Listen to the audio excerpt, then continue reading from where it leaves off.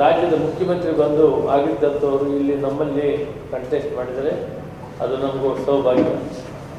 ಒಬ್ಬ ಮುಖ್ಯಮಂತ್ರಿ ಆಗಿದ್ದವರಿಗೆ ರಾಷ್ಟ್ರದ ಆಗು ಹೋಗೋದು ಚೆನ್ನಾಗಿ ಗೊತ್ತಿದೆ.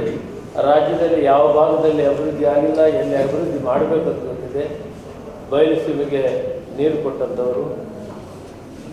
ಇವತ್ತು ಮಿನಿ ವಿಧಾನಸೌಧ, ಜಿಲ್ಲಾ ಕಟ್ಟಡ ಏನು ವಿಧಾನಸೌಧ ಇದೆ, ಅದನ್ನು ಮಂಜೂರು ಮಾಡಿದ್ದು ವೇಮಗಲ್ನಲ್ಲಿ ಒಂದು ಸಭೆ ಮಾಡಿ ಆ ಸಭೆಯಲ್ಲಿ ಘೋಷಣೆ ಮಾಡಿದ್ರು ಒಂದು ವರ್ಷ, ಒಂದೂವರೆ ವರ್ಷ ಒಳಗಡೆ ಕೆಲಸ ಕೂಡ ಪೂರ್ತಿ ಆಯಿತು.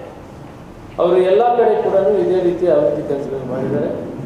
ಅದರ ಬಯಲುಸೀಮೆಗೆ ಇನ್ನೂ ಬಹಳ ದೊಡ್ಡ ಪ್ರಮಾಣದಲ್ಲಿ ಕುಡಿಯೋ ನೀರು ಬರಬೇಕಾಗಿದೆ. ಅದು ಕೂಡ ಸನ್ಮಾನ್ಯ ಸಿದ್ದರಾಮಯ್ಯನವರು ಚಿಕ್ಕಬಳ್ಳಾಪುರದಲ್ಲಿ ಬಾಲಗಂಗಾಧರ ಮಹಾತ್ಮ ಆಶ್ರಮದಲ್ಲಿ ಅವರ ಆಶ್ರಯದಲ್ಲಿ ಪ್ರಾರಂಭ ಮಾಡಿದ್ವಿ. ಆದರೆ ಕೆಲಸಗಳು ತದನಂತರ ಬಂದಂಥ ಸರ್ಕಾರ ಅವಿನ್ನೂ ಕೂಡ ನೀರು ತರೋದರಲ್ಲಿ ಪೂರ್ತಿ ಪ್ರಮಾಣದಲ್ಲಿ ಕೆಲಸ ಆಗಿಲ್ಲ. ಅದನ್ನು ಕೂಡ ಘೋಷಣೆ ಮಾಡಿದ್ದಾರೆ. ನಾವು ಎರಡು ವರ್ಷದಲ್ಲಿ ಕಂಪ್ಲೀಟ್ ಆಗಿ ಈ ಬಯಲುಸೀಮೆ ಪ್ರದೇಶಕ್ಕೆ ಕುಡಿಯೋಕ್ಕೆ ನೀರು ಕೊಡ್ತೇವೆ ಅನ್ನೋ ಮಾತನ್ನು ಸನ್ಮಾನ್ಯ ಸಿದ್ದರಾಮಯ್ಯನವರು ಮತ್ತು ಶಿವಕುಮಾರ್ ಅವರು ಹೇಳಿದರು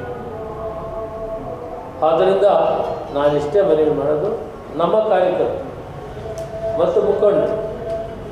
ನಾಯಕರು ಈ ದಿನದಿಂದ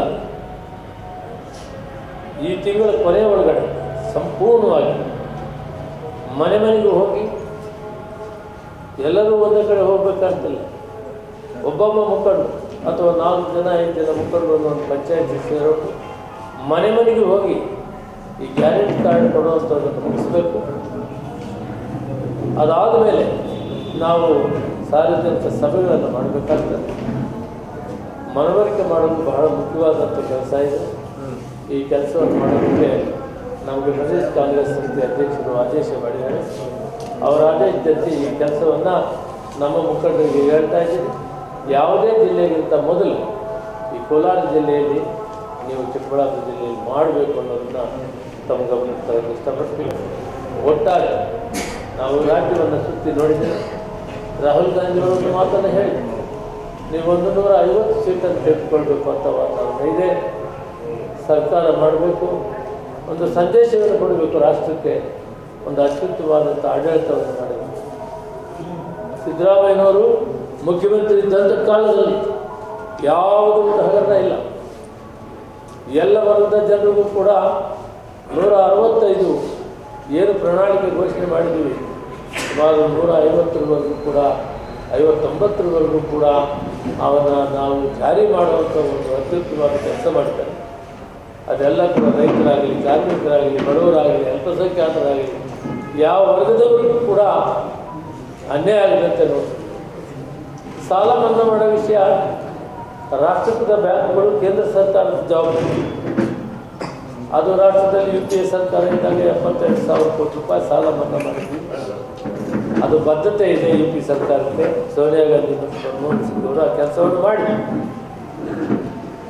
ತದನಂತರ ಸನ್ಮಾನ್ಯ ಪ್ರಧಾನಮಂತ್ರಿಗಳಂತ ಮೋದಿ ಬಂದ ಮೇಲೆ ಸುಮಾರು ದೊಡ್ಡ ಕಂಪನಿಗಳಿಗೆ ಹದಿನೈದು ಲಕ್ಷ ಕೋಟಿ ರೂಪಾಯಿ ಸಾಲ ಮನ್ನಾ ಮಾಡಿದ್ದಾರೆ. ಹದಿನೈದು ಲಕ್ಷ ಕೋಟಿ ರೂಪಾಯಿ.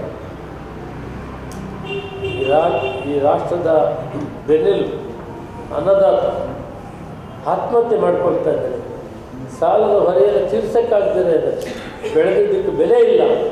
ಅವರ ಸಾಲ ಮನ್ನಾ ಮಾಡೋದ್ರಲ್ಲಿ ಕಾಳಜಿಯನ್ನು ವಹಿಸಿಲ್ಲ ಇದೊಂದು ದುರಾದೃಷ್ಟ ಈ ಸರ್ಕಾರ. ಅಂಥದ್ರಲ್ಲಿ ಸಿದ್ದರಾಮಯ್ಯನವರು ತಮ್ಮ ಇತಿಯಲ್ಲಿ ಇತಿಮಿತಿಯಲ್ಲಿರುವಂಥ ಹಣದ ವ್ಯವಸ್ಥೆಯಲ್ಲಿ ಪ್ರತಿ ಸಣ್ಣ ಅತಿ ಸಣ್ಣ ರೈತರಿಗೆ ಐವತ್ತು ಸಾವಿರ ರೂಪಾಯಿಯನ್ನು ಅವರು ಸಾಲ ಮನ್ನಾ ಮಾಡಿದ್ದಾರೆ ಅಂದರೆ ಅದು ಬದ್ಧತೆಯನ್ನು ತೋರಿಸ್ತದೆ.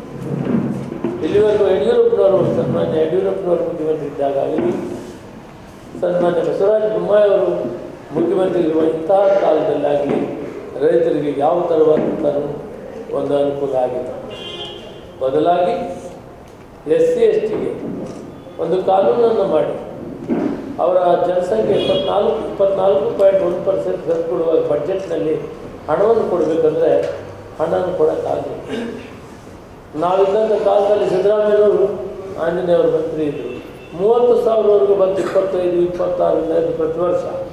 ಕಡೆ ವರ್ಷ ಅವರು ಸರ್ಕಾರದ ಕಡೆ ವರ್ಷದಲ್ಲಿ ಮೂವತ್ತು ಸಾವಿರ ಇವತ್ತಿನ ಪ್ರಕಾರ, ಬಸವರಾಜ ಬೊಮ್ಮಾಯಿ ಸಾಹೇಬರ ಸರ್ಕಾರ ನಲವತ್ತ ಎರಡು ಸಾವಿರದಿಂದ ನಲವತ್ತ ಮೂರು ಸಾವಿರ ಕೋಟಿ ರೂಪಾಯಿಗಳನ್ನು ಆ ಜನಸಂಖ್ಯೆ ಆಧಾರದ ಮೇಲೆ ಹಣ ಇರಬೇಕು, ಇಟ್ಟಿಲ್ಲ. ಇಪ್ಪತ್ತೆಂಟು ಸಾವಿರ ಕೋಟಿ ಇಟ್ಟು ಅದನ್ನು ಬೇರೆ ಬೇರೆ ಇಲಾಖೆಗಳಿಗೆ ಹಂಚಿಕೆ ಮಾಡಿಬಿಟ್ಟಿದೆ. ನಿಗಮಗಳಿದೆ.